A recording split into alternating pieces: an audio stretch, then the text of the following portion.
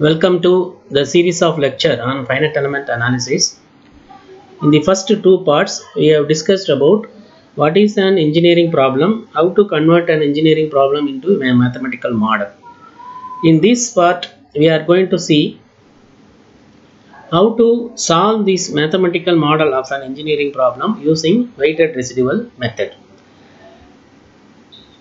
Let us go to the session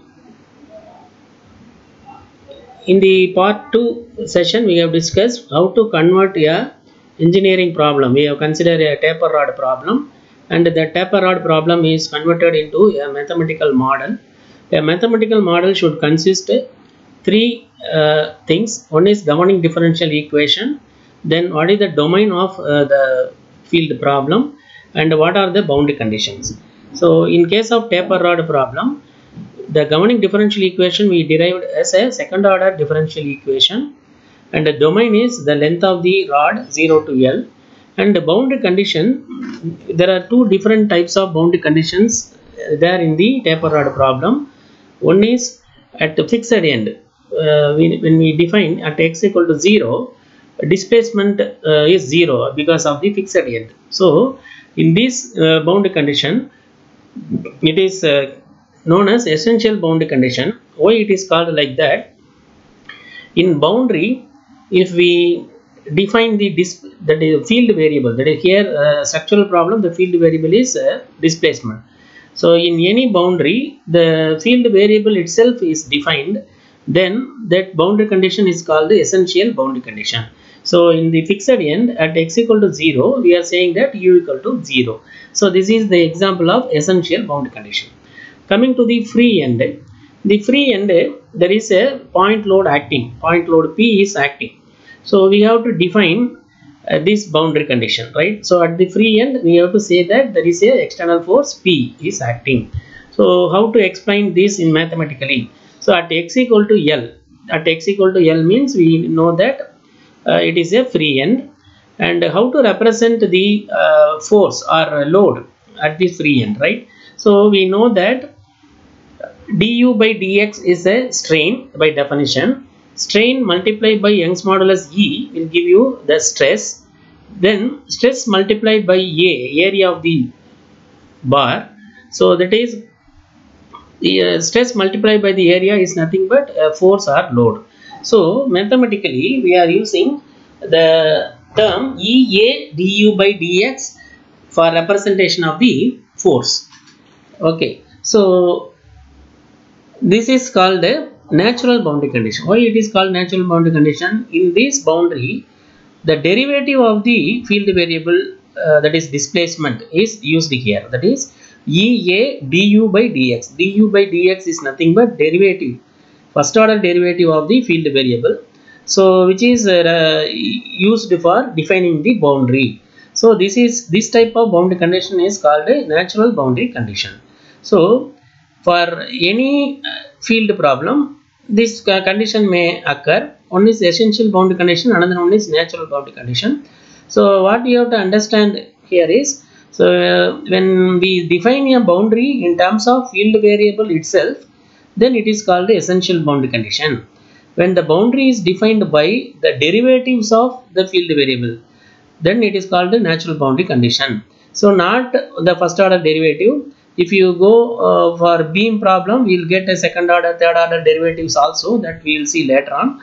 But if the boundary is defined by the derivative of the field variable then we call it as natural boundary condition. So this is the uh, mathematical model uh, for a taper rod. Now we will see how to solve this mathematical model by using the numerical method that is we are going to start. So first we will see weighted residual method so weighted residual method is one of the uh, functional approximation method. So which is coming under uh, numerical method category. So we will see how to solve this uh, equation or the, how to solve this mathematical model using this weighted residual method. So first we have to understand what is weighted residual method. Then we will go for the actual procedure followed in this method. Okay so when you say weighted residual okay so weighted residual method. So first i'll explain what is residual uh, or residual function. Then we will go with the weighted residual okay. So now again we will consider the same taper rod problem. The governing differential equation already we know. Ea d square u by dx square plus gamma a equal to 0 so here we are considering uniform rod equation. So it is a second order differential equation. That is uh, right hand side 0 so we are calling it as a homogeneous equation. Now when I try to solve this equation by numerical method so in any numerical method what we do is first we will uh, assume a trial function for initial uh, process right? So to initiate the uh, numerical method we assume a trial solution so here also we are going to say we are going to assume a trial function to start or to solve this uh, particular equation. So let us say the trial function may be either it is a polynomial trial function or a trigonometric trial function. Both are uh, used for solving this uh, uh, differential equation in case of um, weighted residual method so first we will consider the um, polynomial trial function here I am using the polynomial trial function only so let us say the field variable u right so we are going to assume the field variable u which is depending on x. Here x is the independent variable, u is the dependent variable. So u of x we are defining a0 plus a1 x. That is this is called a linear polynomial. Okay, so we are considering only x term, not the higher order uh, of x. So it is called a linear polynomial. So based on the nature of the problem, we can select the uh, order of the polynomial used for defining the field variable right so now uh, when you say this u of x is a0 plus a1x we don't know what is the value of a0 and a1 because it is a trial function so now when we substitute this u of x in this governing differential equation then that equation will not be satisfied. Why it will not be satisfied? Because we are not substituting the u of x. The exact solution or original solution of this u of x is not substituted in the governing differential equation. We are substituting a trial function on that governing differential equation. In that case that equation will not be satisfied. What is the meaning? The right hand side we are saying that uh, 0 right? So when you substitute u of x equal to a0 plus a1x then in that governing differential equation then equation will not be equal to 0 that means that equation will give some error or some residue. Okay? So this thing we have to understand clearly. So what is a residue here? When we substitute a trial function on a governing differential equation then the governing differential equation will give you some residue that is called residue or residual function so now when I substitute this trial function then my governing differential equation becomes a residual function. So now what is the objective here? If I want to get the exact solution for my field variable u of x, I have to minimize this residue, right? The residue is denoted by r of x here. So we, we have to minimize this residual function uh, what is the residual function here? Ea d square u by dx square plus gamma a. The same governing differential equation only. But after substituting the trial function on this governing differential equation, we are saying that that is the residual function because we, are substituting the trial function on the governing differential equation. That equation uh, yields some residue. That is why we are calling it as residual function. Now if we minimize this residual value or if you uh, um, minimize this residue or if you make residue 0 then that uh, assumed trial function will become the exact solution that is the uh, main uh, concept here. So how to minimize the residual function? For that there are four methods developed right? So we are going to see all those four methods one by one. These methods are called minimization procedure actually. So that minimization procedure uh, I will explain those minimization procedure. After uh, explaining the making the residual function through this example problem right? So we will see these are the uh, four uh, minimization procedure. Point collocation method here I am writing here. Point collocation method subdomain method least square method Galerkin method. These are the uh, four uh, minimization procedure or weighted residual method they will call it right so these procedures are used for solving this uh, governing differential equation. Okay now uh, through this example I try to explain how to convert this governing differential equation into a residual function. Then this residual function is solved by using this four method that we will see. Now in this example the solve the differential equation for a physical problem expressed as d square y by dx square plus 100 equal to 0 so when we see this type of uh, uh, differential equation we have to understand that this equation represent a physical phenomenon. It may be a structural problem it may be a uh, fluid problem it may be an electromagnetic problem but any field problem can be expressed in terms of the differential equation. Okay. So in case of one dimensional problem it is a differential equation ordinary differential equation. In case of 2d and 3d it will get a partial differential equation.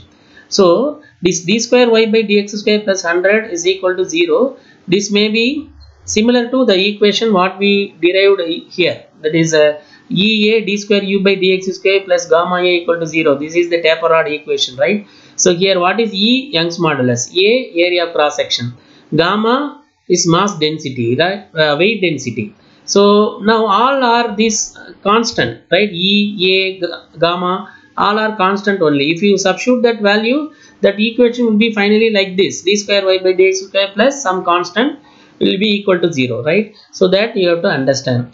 And for this problem the domain is given 0 less than or equal to x less than or equal to 10 that means x is varying from 0 to 10 with the boundary condition y of 0 equal to 0 y of 10 equal to 0 so what is the meaning of this boundary condition? Both are essential boundary condition. At x equal to 0 the field variable y is defined. At x equal to 10 again field variable y is defined. So both are essential boundary condition. So now we will see how to convert this into residual function so first you write the given uh, mathematical model. So the governing differential equation is stated as uh, d square y by dx square plus 100 equal to 0 then domain is 0 to 10 and the boundary conditions y of 0 0 y of 10 equal to 0 this is the mathematical model first step we are writing.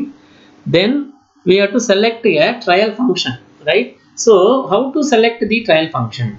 So there is a thumb rule so when we use the polynomial trial function so the minimum order of polynomial should be equal to maximum order of governing differential equation.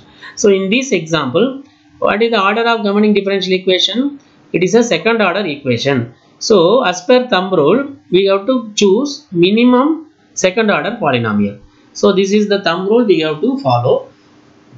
But some cases in the question itself they will uh, specify the trial function. In that case we can uh, use that trial function for solving the problem. But uh, if it is not mentioned in the question we have to use this thumb rule. So the minimum order of polynomial used to solve the problem is uh, maximum order of uh, governing differential equation. Then only we are able to solve the problem. Otherwise we will end up with a constant or zero. So i will tell you only when solving the problem we will see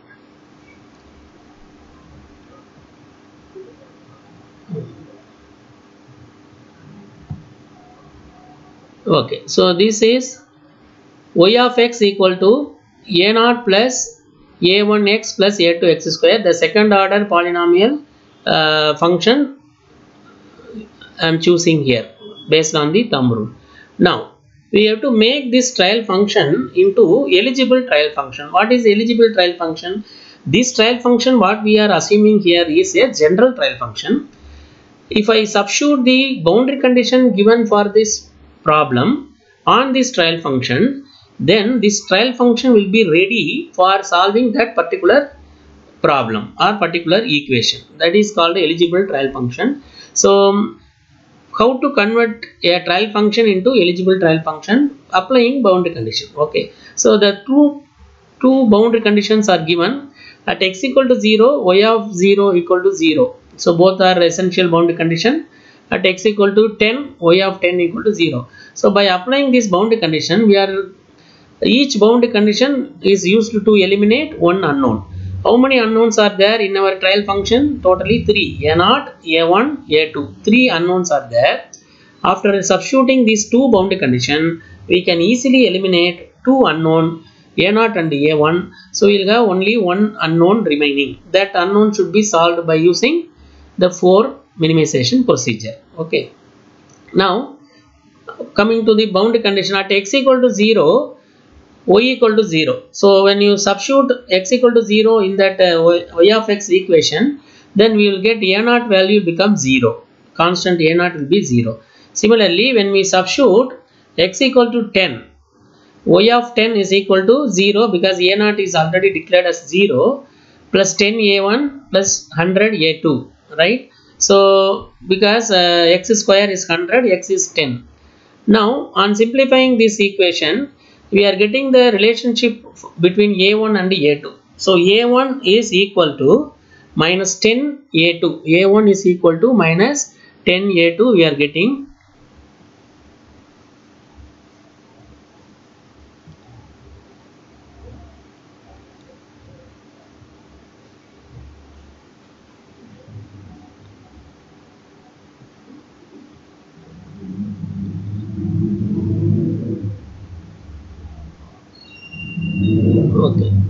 so now when we after obtaining this a1 equal minus 10 a2 we are substituting in that trial function. Now the trial function becomes eligible trial function because we have, we have calculated a naught value and a1 value. So now substituting that finally you will get a uh, trial function is equal to a2 x square minus 10x so here I am using the y star because to differentiate from the uh, normal uh, trial function, right? So the original or general trial function is y of x. y star of x is denotes the uh, eligible trial function. This the eligible trial function is going to be used for finding the residual function. So evaluation of the residual function. So what is the residual function? when you substitute this y star of x in the governing differential equation then the governing differential equation will become the residual function. This is the r of x. r of x is d square y star divided, divided by dx square plus 100 so now we have to differentiate the y star two times what is our y star? Y, y star of x is this one. A2 x square minus 10x so we have to differentiate this one. A2 x square become 2x minus 10x become 10 then second order derivative d square y star by dx square a to 2 right? Only 2 will come. So it is uh, d square y star by dx square is equal to simply 2a2 so your residual function r of x is equal to 2a2 plus 100 so this is the formulation of the residual function after knowing the mathematical model. Right? So once again I'll repeat the procedure if you know the mathematical model then we are assuming a trial function based on the order of the differential equation right? Then we are applying the boundary condition into the trial function. We are making it to eligible trial function. That eligible trial function is applied uh, over this uh, governing differential equation. Then we are getting the residual function. So after getting this residual function we have to use this minimization procedure. So i briefly explain this minimization procedure. There, there are four methods. Point collocation method subdomain method least square method and galerkin's method. Out of which the galerkin method is the base for the finite element method. So the, that we have to understand clearly. Now uh, for this example problem what we discussed we will apply these methods one by one and I try to explain this method through that example. And uh, in this example we got this r of x value 2a2 plus 100 so totally 2 constant a2 is also a unknown coefficient 100 constant right? In the r of x residual function we don't have the x term. The x is the variable here. So since uh, r of x is a constant one so we will get uh, exact solution in all four method right? So for understanding purpose i am taking this simple example. In the next part of lecture i will take one more example with uh, x term okay? So now coming to the first one. What is point collocation method? In the point collocation method the residual what we are assuming right is r of x. The residuals are set to 0 at uh, selected points in different locations uh, xi where i is varying from 1 to n. So simply we are going to say that the residual r of x is going to be equal to 0 at uh, specified points. Those specified points are called uh, collocation points. Okay. So how to select these uh, collocation points that is based on the experience or the thumb rule is also there. I'll uh, explain through that example. Now coming to this example problem what we consider? Here the residual at a specified point r of x is going to be considered as 0 so the, in this graph uh, we can uh, easily understand. Here you see that it is a graphical representation of our uh, y star of x and here your x is a variable independent variable. Depends upon the x value you will get the y star of x. Okay. Now we have a boundary 0 to n. So lower value and upper value of the boundary. And within this boundary we have to select one point as for the uh, residual function. But in this residual function we don't have x value we have 2a2 plus 100 don't have x value. So we need not to consider any uh, collocation point here. So directly we can say r of x equal to 0 okay. So that means 2a2 plus 100 will be equal to 0 so a2 will become minus 50 this is the solution for the unknown coefficient a2 okay suppose if in the residual function x value is there x term is there then we will assume x is equal to middle middle of this domain. That is 0 to 10 is the domain so midpoint will be 5 so we have to assume x equal to 5 and after that we have to evaluate the coefficient a2 suppose if there are two unknown uh, present in this then we have to select two collocation points. In that case we will select we will divide the total domain into two equal half. Then we will get the center point of this first uh, part or first half. Then center point of the second half. That will be taken as the collocation point. So these are the uh, thumb rules followed for uh, selecting the collocation points. Okay. But in this example we don't have any x term in this r of x. Directly we are getting this answer a2 so now substituting a2 value our uh, final solution y star of x will be minus 50 x square minus 100x so what is the meaning of this one? When you use this y star of x minus 50 x square minus 10x then this governing differential equation will be satisfied. What is the governing differential equation for this one? So governing uh, this one d square y by dx square plus 100 equal to 0 right? So for this the exact solution we found out so we have to differentiate this d square y by dx square right? Differentiate two times and add 100 then you will get uh, the right hand side will be satisfied right? Right hand side is 0 right? So when you differentiate this y star of x two times what you will get? Minus 50 is constant. First integration you will get 2x minus 10 second integration will get only 2 so 2 into 50 minus 100 minus 100 plus 100 becomes 0 right? Like that you have to verify the solution. Now coming to the second subdomain method or subdomain collocation method.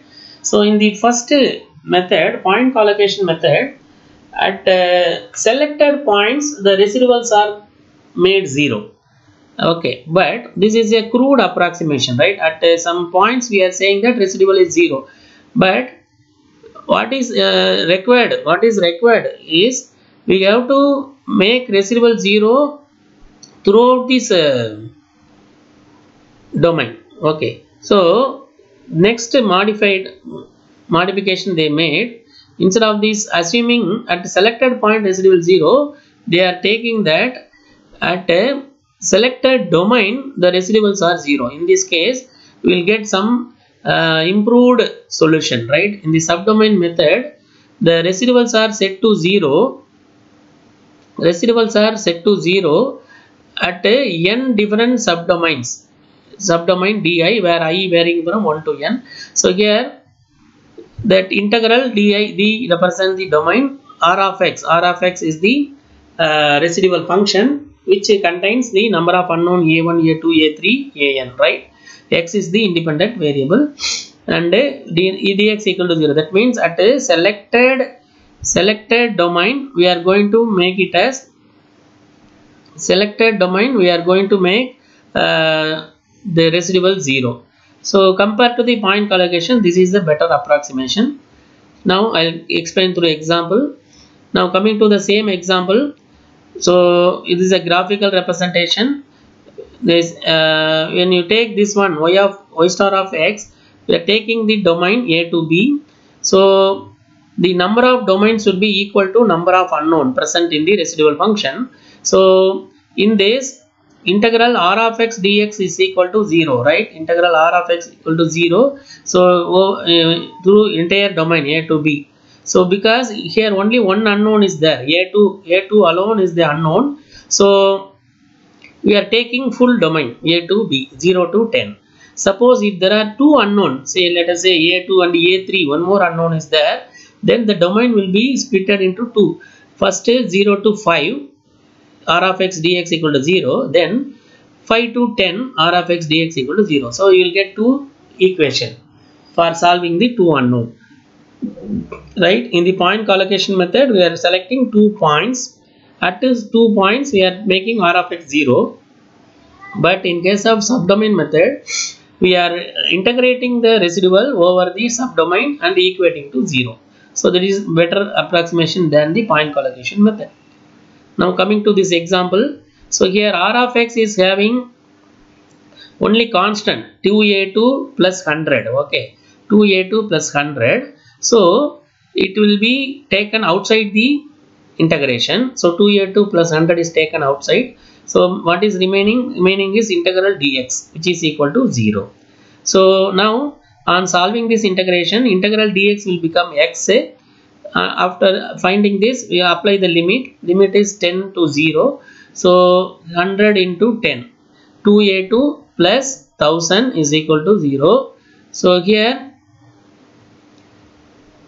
a2 value will become minus 50 again. Actually actually the here, it should be 20a2 because this 10 should be multiplied with both 2a2 plus 100 okay so 20a2 plus 1000 is equal to 0 so a2 value become minus 50 so 1000 divided by 20 is minus 50 again we are getting same answer a2 minus 50 a2 equal to minus 50 why we are getting the same exact solution? Because in our residual function we have only constant 2a2 plus 100 right then the third method is least square method. So which will give you the best uh, uh, solution compared to all other method. So point collocation method and uh, subdomain method. Again we are using the least square method. Um, this is this method least square method will give the more accurate solution compared to all other method. So what is this method? We'll see in this method the integral of the weighted square of the residual over the domain is required to be minimum. This is the uh, mathematical expression. Uh, how to understand this one? Here the residual function r of x right? This is r of x. This r of x is squared r of x squared. Then it is integrated over the domain d and this made as a functional. I. I is symbol for the functional. What is functional? Functional mathematically it is expressed as function of a function. That is why it is a weighted decimal method is called functional approximation method. So this about this functional we will discuss uh, when we see the Rayleigh-Ritz method. So here what you have to understand here is i i is the symbol used for functional. Functional means function of a function. So in in functional we will have the uh, independent variable and dependent variable explained in terms of independent variable. Then that uh, function is also included. Oh, then that uh, that is called functional. So i will give you example the requirement that is after deriving the functional how to solve the unknown involved in the functional a1 a2 an, right up to an are unknown coefficient right? How to solve this one?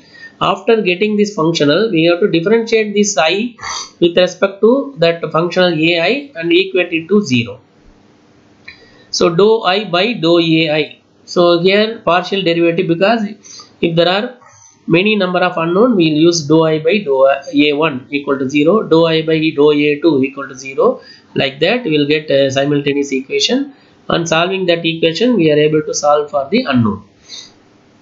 Now coming to the present example we will take this r of x. What is the uh, d square method? We have to square the residual function and uh, that uh, squared function should be integrated over the domain 0 to 10 here right over the domain. And e this will be considered as a functional i.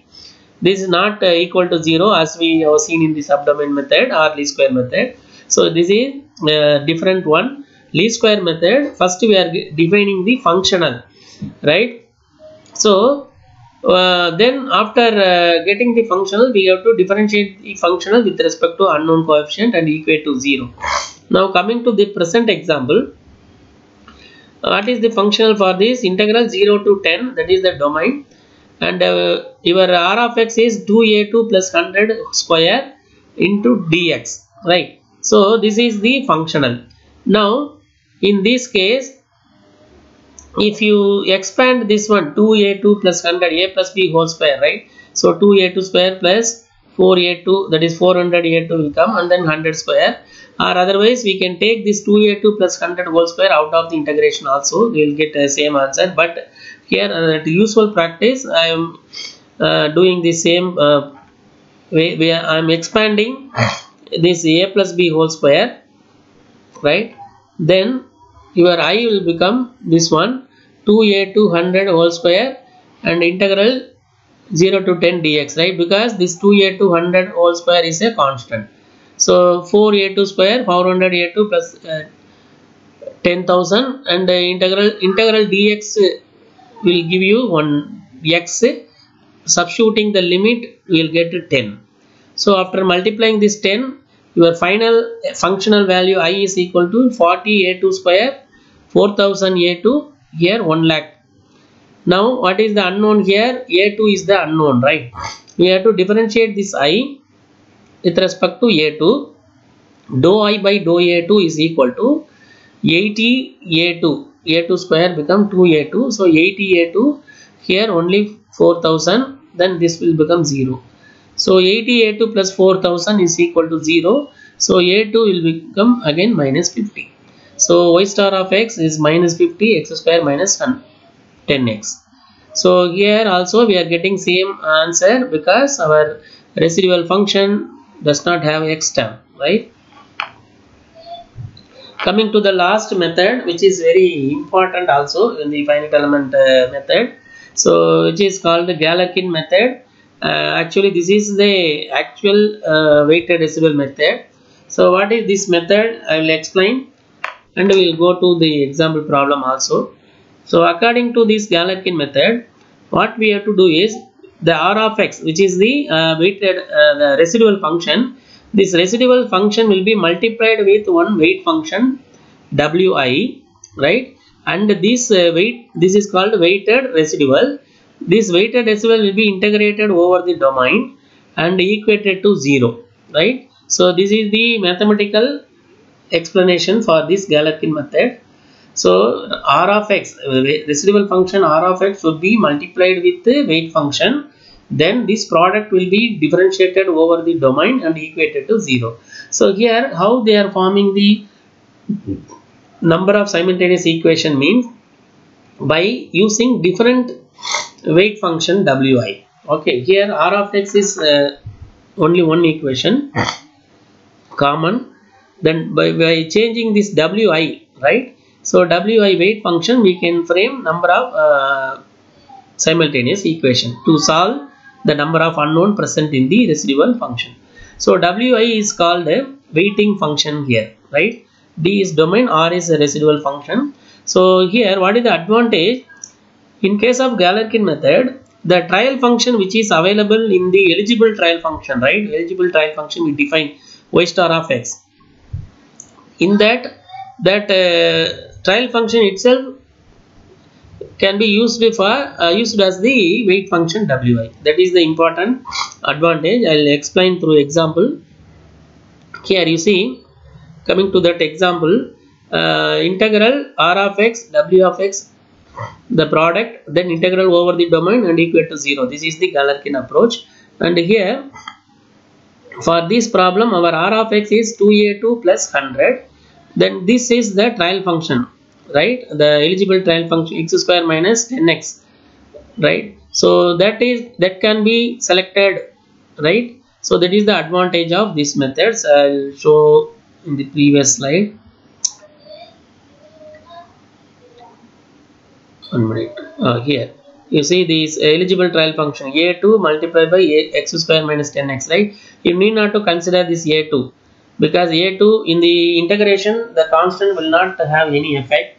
In some textbook uh, they will consider this a2 also as a weight function not necessary. We can consider only this uh, x term right? X square minus 10x alone as a weight function. So we can here you see this one uh, x square minus 10x this is taken from the trial function eligible trial function not from the original trial function. The eligible trial function we have to take. This is r of x multiplied by weight function integrate over the domain 0 to 10 and equate to 0 this is called the Galerkin approach.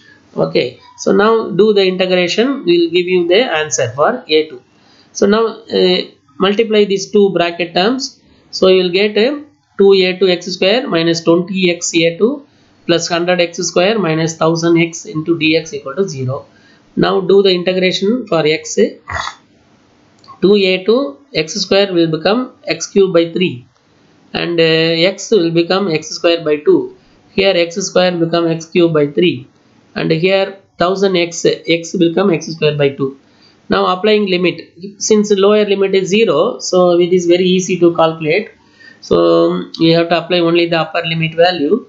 So applying the upper limit value 2a2 x cube become 1000 by 3 minus 20a2 x square is 100 by 2 again x cube is 1000 by 3 and x square is 100 by 2 on simplifying this.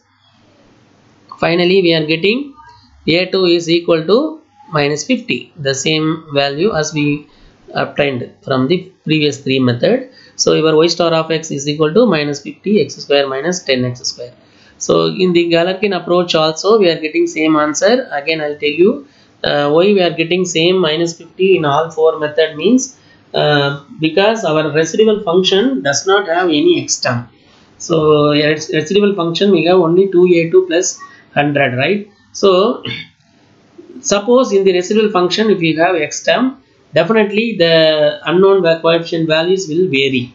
Okay so in the next part i'll take up one more problem in the weighted residual method to explain uh, these uh, four methods. And uh, we will consider uh, in the weighted residual uh, method uh, residual function with the two unknowns we will select. Okay student? Thank you for your patience listening. Thank you